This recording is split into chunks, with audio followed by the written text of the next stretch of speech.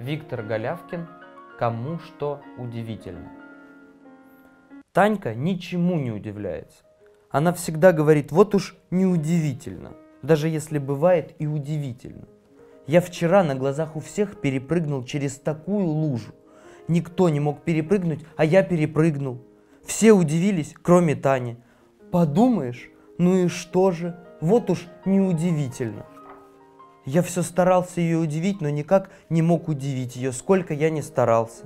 Я научился ходить на руках, свистеть с одним пальцем во рту, а она все это видела, но не удивлялась.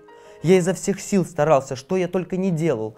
Залезал на деревья, ходил без шапки зимой, а она все не удивлялась. А однажды я просто вышел с книжкой во двор, сел на лавочку и стал читать.